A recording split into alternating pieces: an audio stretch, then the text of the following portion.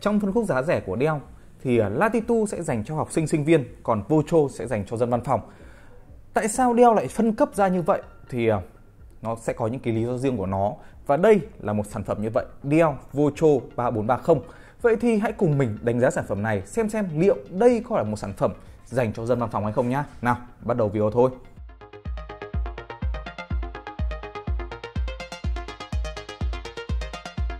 Và nếu như các bạn đang có nhu cầu muốn mua Dell Vocho 3430 thì đường link mua hàng ra đến An Khang Computer mình sẽ để xuống mô tả. Còn bây giờ hãy đi sâu hơn những cái đánh giá của mình về sản phẩm này. Khi sờ vào mẫu máy này thì điểm đầu tiên mà mình thấy ấn tượng đó chính là về việc cân nặng. Cân nặng của mẫu máy này chỉ khoảng tầm 1,48 kg thôi và có một cái thiết kế hoàn thiện rất là bền bỉ và sờ vào các bạn có thể thấy đây là một cái điều mà Dell luôn luôn hướng đến đó là nồi đồng cối đá.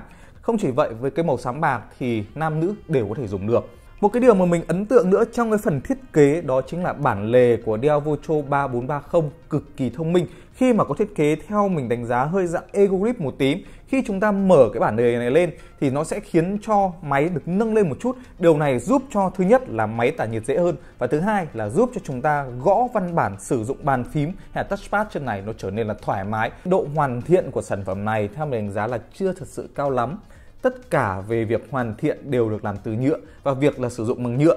Thế nên là sẽ có một số chỗ nó sẽ bị flex nếu như chúng ta ấn vào. Về cổng kết nối thì Dell Vocho 3430 mình đánh giá là có việc bố trí cực kỳ thông minh. Ở bên cạnh trái chúng ta sẽ có một cổng HDMI này, một cổng USB type A 3.2 một cổng USB Type C hỗ trợ DP bên cạnh phải chúng ta sẽ có một jack cắm tai nghe 3.5 một cổng LAN RJ45 một cổng USB Type-A 3.2 và một cổng đọc thẻ nhớ SD. Với việc bố trí khá là hài hòa giữa các cổng kết nối như này thì giúp cho chúng ta sử dụng mẫu máy này trở nên là tốt hơn.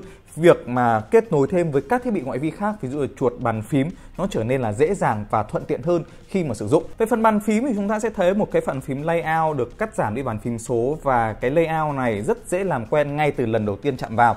Và cái việc gõ phím trên mẫu máy này thì cũng khá là đủ dùng. Cái hành trình phím sâu và cái cảm giác gõ nó khá là êm tay. Touchpad ở đây sẽ là một cái touchpad với kích thước theo mình đánh giá là cũng vừa phải thôi. Nó không thuộc dạng kiểu quá to để có thể chúng ta sử dụng thoải mái được. Nhưng mà với touchpad như này nó sẽ giúp cho chúng ta có thể sử dụng trong những lúc mà chúng ta quên mang chuột đi chẳng hạn. Còn về trải nghiệm touchpad đây thì mình đánh giá là cái bàn di nó khá là mượt và khi di chuyển thao tác vuốt nó cũng có một cái độ chính xác vừa phải. Về phần màn hình thì Dell Voco 3430 sở hữu một màn hình có kích thước là 14 inch, độ phân giải là Full HD. Tuy nhiên có một điều đáng tiếc mà mình thấy nó ở đây, mặc dù là Dell đã trang bị ở đây những công nghệ ví dụ như là công nghệ chống lóa anti-glare này, nhưng lại không trang bị vào đây tấm nền IPS mà lại trang bị với tấm nền là WVA. Về ờ, thông số màn hình thì các bạn có thể nhìn thấy ở đây về độ sáng này, về độ phủ màu cũng như là độ chuẩn màu các bạn hoàn toàn có thể xem lại nói chung là khi các bạn trải nghiệm cái mẫu máy này thì chúng ta sẽ không thể nào có một cái chất lượng màn hình theo cái kiểu là màu sắc đủ 100% sRGB hay các thứ được, nhưng vẫn đem lại chúng ta một cảm giác sử dụng với những cái tác vụ cơ bản hàng ngày, những cái vấn đề giải trí cơ bản hàng ngày, thì mẫu máy này vẫn có thể đáp ứng được. Nó là một mẫu máy dành cho những người dân văn phòng, những người làm sale, chứ không phải là dành cho những người sáng tạo nội dung. Cần phải có một mẫu máy có màn hình đẹp để giúp có thể sử dụng, để làm các tác vụ multimedia. Mà đây là mẫu máy để hướng đến việc là có thể sử dụng bền trong thời gian dài. Về hiệu năng thì mình đánh giá đây là một trong những cái ưu điểm của Dell Vocho 3430 khi mà đúng theo những cái tâm lý của người dùng Việt Nam dùng lâu nồi đồng cối đá. Khi mà chúng ta có thể thấy ở đây một à, cấu hình rất là xịn, một con chip Core i7 hệ 13 1335U, RAM 16GB DDR4 SSD 512GB, sử dụng thêm cả card màn hình rời NVDA GeForce MX 550 2GB RAM. Với việc là có những cái cấu hình như vậy thì giúp cho mẫu máy này có thể sử dụng trong khoảng tầm từ 2 đến 3 năm nữa, cực kỳ thoải mái. Thậm chí là mẫu máy này có thể hardcore dùng được 4 5 năm cũng vẫn rất là ok. Và cái điều này là cái điều mà khiến cho Dell ở Việt Nam luôn luôn có một chỗ đứng riêng của nó nồi đồng cối đá sử dụng lâu dài và để làm rõ hơn thì mình cũng đã chấm qua cái điểm benchmark rồi các bạn có thể nhìn thấy ở đây CMR R15, CMR R20, PC Mark 10 hay 3D Mark điểm số cực kỳ cao và mình khẳng định là nếu như chúng ta mua mẫu này về để sử dụng trong thời gian dài thì hoàn toàn rất ok. Ngoài ra trong cái phần cấu hình này thì Dell còn trang bị vào đây thêm một con chip TMP 2.0 để giúp bảo mật tốt hơn này. Và cái điểm đặc biệt nữa đến từ Dell đó chính là sản phẩm này sản phẩm chính hãng ở Việt Nam này. Thế nên sẽ có những cái quyền lợi khác Đầu tiên sẽ được có Windows bản quyền và Office bản quyền luôn này.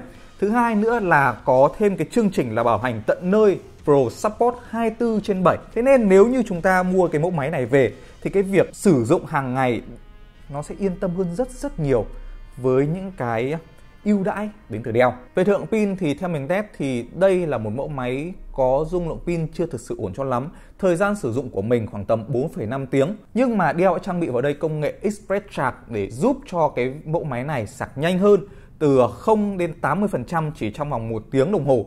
Như vậy thì sẽ có thể rút ngắn cái thời gian sạc và cái tăng cường thời gian sử dụng lên. Vậy thì quay trở lại với vấn đề Dell Vocho 3430 này có thật sự phù hợp với dân văn phòng hay không? Thì câu trả lời là có. Thứ nhất là chúng ta sẽ thấy một bộ máy mỏng nhẹ để giúp cho việc à, di chuyển dễ hơn này. Thứ hai là một cái thiết kế bền bỉ, nồi đồng cối đá sử dụng theo thời gian cũng hoàn toàn ok. Thứ ba là một cấu hình có thể sử dụng từ 3 đến 4 năm cũng không cần phải thay đổi. Và thứ tư đó chính là chính sách hậu mãi, chính sách về bảo hành cực kỳ tốt đến từ Dell. Với những cái điều như trên thì bạn thấy Dell Vocho 3430 nó có đã phù hợp với dân văn phòng hay chưa? Hãy vui lòng comment cho mình bên dưới nhé. Còn bài đánh giá của mình về mẫu máy Dell Vocho 3430 đấy là hết rồi. Xin chào và hẹn gặp các bạn trong số video sau. Bye bye.